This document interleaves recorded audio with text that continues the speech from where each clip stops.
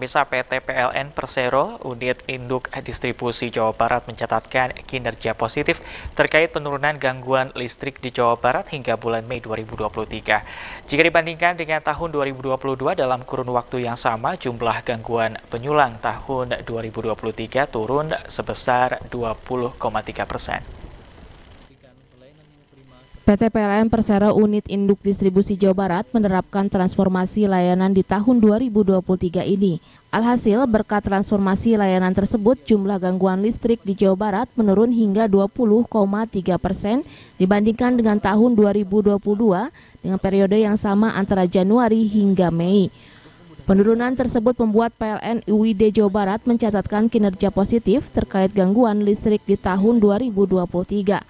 General Manager PLN UID Jawa Barat Susiana Mutia menegaskan, transformasi perusahaan yang melahirkan berbagai produk digital disertai layanan optimal sangat berperan dalam pencapaian tersebut. Transformasi digital seperti Super Apps PLN Mobile menjadi solusi atas berbagai informasi terkait ketenaga listrikan, khususnya perbaikan gangguan.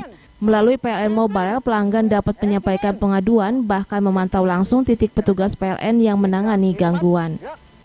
Transformasi digital seperti Super Apps PLN Mobile menjadi solusi atas berbagai informasi terkait ketenaga listrikan, khususnya perbaikan gangguan.